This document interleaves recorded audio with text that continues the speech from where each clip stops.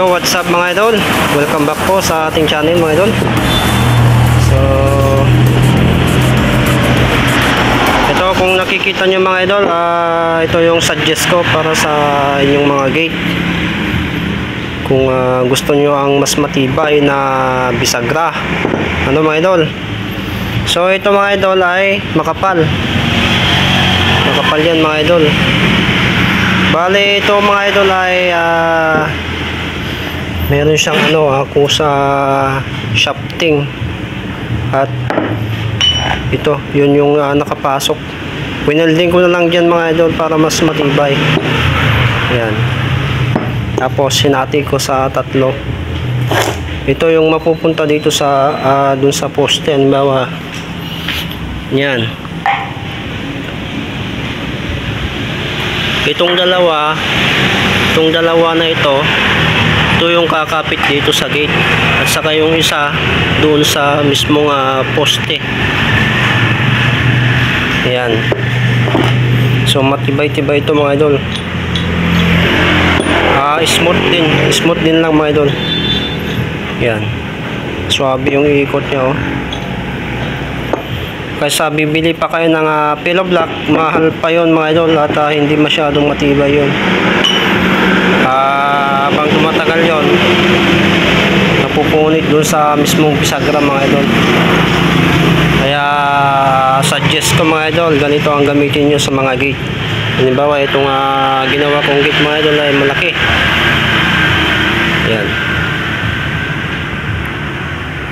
so ganito ang uh, sinuggest kong gamitin para matibay So, ganito lang ang ah, technique mga idol.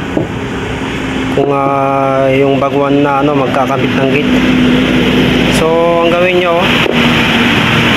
ah, may nabibiling ganito mga idol, pero medyo mas, may presyo, medyo mahal. Pero at least, ah, quality, lifetime.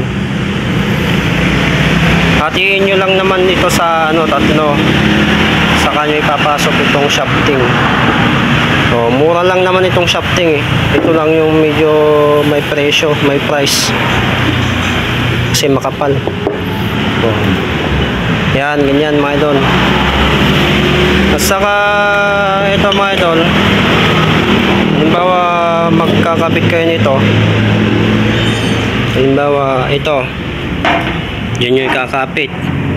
Kapag ka walang ah, flat bar, kaya nilagyan ko ng flat bar para ah, mas matibay at ah, hindi siya ano ah, mahigpit kapag uh, winelding kasi na walang ah, flat bar mga idol uh, generic nyo dito sa tubular.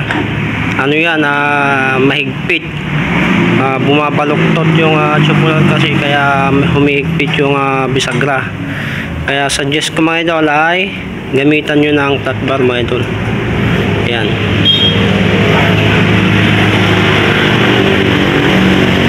So, ganyan ang technique sa pagkakabit ng ah, hinges, mga idol. So, kailangan na lagyan nyo ng ganito, flat bar, para madaling uh, i-welding sa mismong gate. Kasi pagka welding nyo na ganyan na, may flat bar, hindi na yan ano, uh, maigpit na ibukas. Smooth. So yan, second na tips mga idol. Ah, pagka magkabit kayo ng ah, bisagra ah, hinges, lagyan nyo ng flat bar.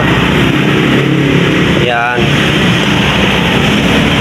Para mas matibay at madaling ikabit sa gate. Hindi siya ano, hindi siya mahigpit na ibukas. Kung wala kasing flat bar, mahigpit na ibukas mga idol. Yan. So ito mga idol, gagamitin ko dito. Kasi folded dito na gate. So dun sa gilid, ito yung lalagay ko mga idol.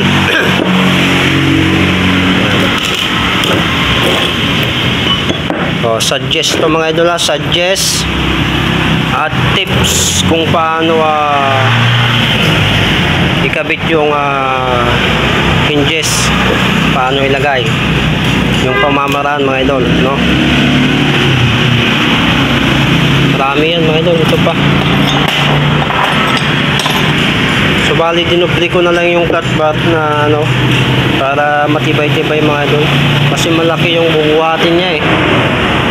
Yan o almost 3 ah 150 yung ano lapad yung isa. Tsaka 7 feet yung height. Kaya dawan tayo na ah